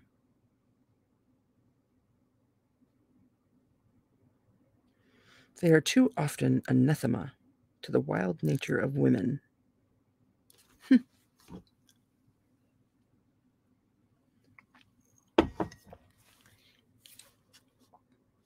Consistency in manner is an impossible sentence for wild women. For her strength is in her adaptation to change, her innovation, her dancing, her howling, her growling, her deep instinctual life, her creative fire. She does not show consistency through uniformity, but rather through her creative life, through her consistent perceptions, quick sightedness, flexibility, and deftness. If it, if we were to name only one thing that makes the wild woman what she is, it would be her responsiveness. The word response comes from the Latin to pledge, to promise, and that is her strong suit. Her perceptive and deft responses are a consistent promise and pledge to the creative forces, be it duende, the goblin spirit behind passion or beauty, art, or the dance or life. Her promise to us, if we will not thwart it, is that she will cause us to live. She will cause us to live fully alive, responsively, and consistently so. In this way, the mistaken, mistaken zygote gives her fealty, not to her family, but to her interior self. This is why she feels torn. You might say her wolf mother has told her, has has hold of her tail. Her worldly family has hold of her arms. It is not long before she is crying in pain, snarling and biting herself and others, and finally, the deadly quiet. You look in her eyes and you see ojos del cielo, sky eyes. The eyes of a person who is no longer there. Ojos del luna.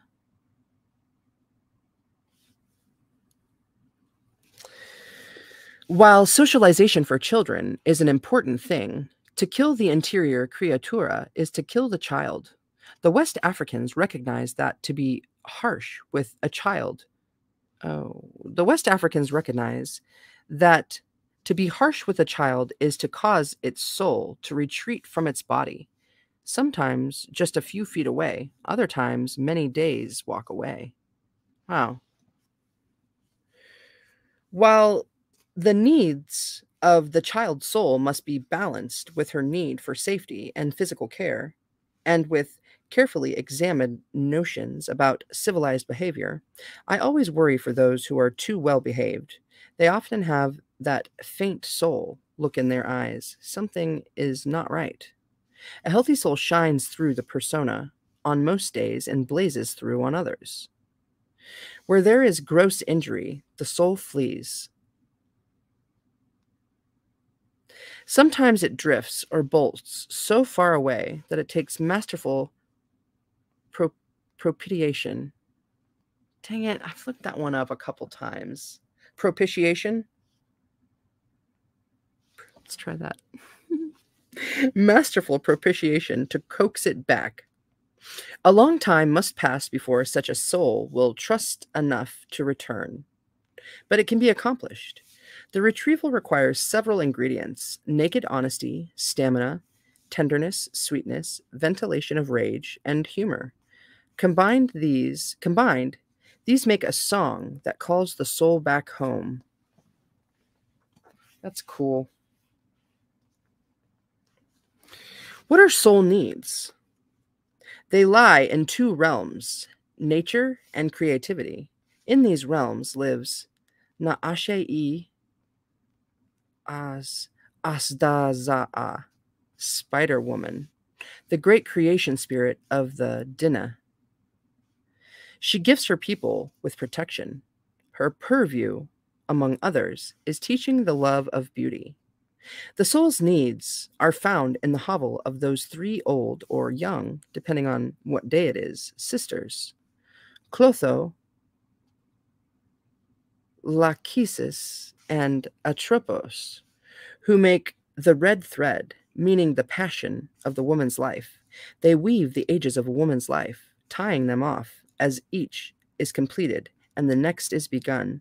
They are found in the woods of the huntress spirits, Diana and Artemis, both of whom are wolf women, wolf women who represent the ability to hunt, track, and recover various aspects of the psyche.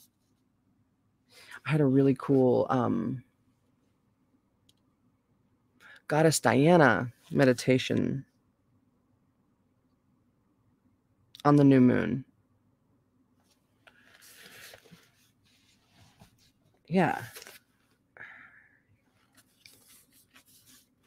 The soul needs are the soul's needs are governed by Coatlicue, Coat, Coatlicue, Coatlicue, Coatlicue, the Aztec goddess of female self sufficiency. Hey, let's find out how to say it, right? I want to.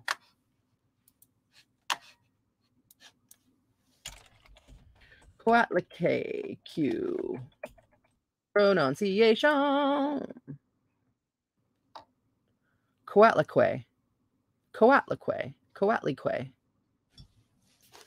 Coatlicue. Cool. I just have like two pages left, and then we'll complete this chapter. The soul's needs are governed by Coatlicue. Is that what I just said? Coatlicue? Coatlicue. Coatlicue. Coatlicue the Aztec goddess of female self sufficiency who gives birth squatting and square on her feet. She teaches about the lone woman's life. She is a maker of babies, meaning new potential for life, but she is also a death mother who wears skulls on her skirt, and when she walks, they sound like the rattles on a snake, for they are skull rattles. And because skull rattles sound like also like rain, though sympathetic th- oh, through sympathetic resonance, they draw down rain for the earth. She is the protectress of all lone women and those so magia, magia, so filled with powerful thoughts and ideas, they must live out at the edge of who knows where in order not to daze the village too much. Coatlicue is the especial protectress of the female outsider. What is the basic nutrition for the soul? Well, it differs from creature to creature, but here are some combinations. Consider them psychic macrobiotics. For some women, air, night, sunlight, and trees are necessities. For others, words, paper, and books are the only things that satiate. For others, color, form, shadow, and clay are the absolutes. Some women must leap, bow, and run, for their souls crave dance. Yet others crave only a tree leaning space, a tree leaning peace. There is yet another issue to be dealt with. Mistaken zygotes learn to be survivors. It is tough to spend years among those who cannot help you to flourish. Being able to say that one is a survivor is an accomplishment. For many, the power is in the name itself. And yet comes a time in the individuation process when the threat or trauma is significantly past. Then is the time to go to the next stage after survivorship, to healing and thriving. If we stay as survivors only without moving to thriving, we limit ourselves and cut our energy to ourselves and our power in the world to less than half. One can take so much pride in being a survivor that it becomes a hazard to further creative development. Sometimes people are afraid to continue beyond survivor status, status, for it is just that, a status, a distinguishing mark, a damn straight bet your buttons, better believe it accomplishment. Instead of making survivorship the centerpiece of one's life, it is better to use it as one of the many badges, but not the only one. Humans deserve to be dripping in beautiful rem- remembrances, medals, and decorations for having lived, truly lived, and triumphed. Once the threat is past, there is a potential trap in calling ourselves by names taken on during the most terrible time of our lives. it creates a mindset that is potentially limiting. It is not good to base the soul identity solely on the feats and losses and victories of the bad times. When survivorship can make a woman tough as beef jerky, at some point, allying with it exclusively begins to inhibit new development. When a woman insists, I'm a survivor, over and over again, once the time for its usefulness is past, the work ahead is clear. We must loosen the person's clutch on the survivor archetype. Otherwise, nothing else can grow. I liken it to a tough little plant that managed, without water, sunlight, nutrients, to send out a brave and ornery little leaf anyway, in spite of it all.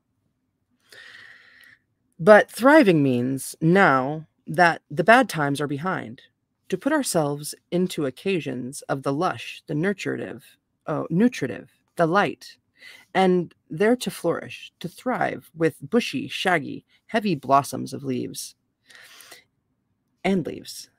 It is better to name ourselves names that challenge us to grow as free creatures. That is thriving. That is what is meant for us. Ritual is one of the ways in which humans put their lives in perspective, whether it be Purim, Advent, or drawing down the moon. Ritual calls together the shades and specters in people's lives, sorts them out, puts them to rest. There is a particular image from El Dia de los Muertos, Day of the Dead, celebrations that can be applied to help women in the transition from surviving to thriving. It is based on the rite of ofrendas. Ofrendas, which are the altars to those who have passed from this life. Ofrendas are tributes, memorials, and expressions of deepest regard for the loved ones no longer on this earth. I find it helps many women to make an ofrenda and uh, ofrenda to the child they once were, rather like a testament to the heroic child. That's cool. Some women choose objects, writings, clothing, toys, mementos from events, and other symbols from childhood that will be portrayed. They arrange the ofrenda in their own way, tell the story that goes with it or not, and then leave it up for as long as they wish. It is the evidence of their past hardship, valor, or triumph over adversity. This way of looking at the past accomplishes several things. It gives perspective, a compassionate rendering of times past, by laying out what one experienced, what one has made of it, what is admirable. It is the admiring of it, rather than the being of it, that releases the person. To be the child survivor beyond its time is too over identified with an injured archetype. To be the, I gotta start again. To be the child survivor beyond its time is too over identified with an injured archetype. To realize the injury and yet memorialize it allows thriving to come forth. Thriving is what was meant for us on earth. Thriving, not just surviving, is our birthright as women. Do not cringe and make yourself small if you are called the black sheep, the maverick, the lone wolf. Those with slow seeing say a nonconformist is a blight on society. But it's been proven over the centuries that being different means standing at the edge, means one is practically guaranteed to make an original contribution, a useful and stunning contribution to her culture. When seeing guidance, don't ever listen to the tiny hearted. Be kind to them, heap them with blessings, cajole them, but do not follow their advice. If you have ever been called defiant, incorrigible, forward, cunning, insurgent, unruly, rebellious, you're on the right track. Wild woman is close by. If you have never been called these things, there is yet time. Practice your wild woman. Andale. And again. The end. Woo! Yeah. Dang. That was a lot, right? One five five three eight or three nine. Oh my gosh, I'm about to see all the fives. It's happening. There was a four four. So yeah, 1026. Awesome. Five five five five. It's almost here. Boom! Five five five five. Woo! Awesome. Hey, that way. Awesome. Oh, I love you all thanks for coming and hanging out with me. I'm glad I got uh, another chapter read from this book. Yeah, that was a lot. I can't, I can't, I gotta digest that. So yeah, until next time, I'm I probably come back with the um the subtle art book next, but um this one still keeps it coming. It's gonna be a while, I think, before. Well, the thing is, is I really love it. I want to finish it so I'm going to make that happen. But there's also lots of other books. All right. So thank you very much. And um, until next time, mwah, I see you very soon. And um, yeah, thank you. I appreciate you. End.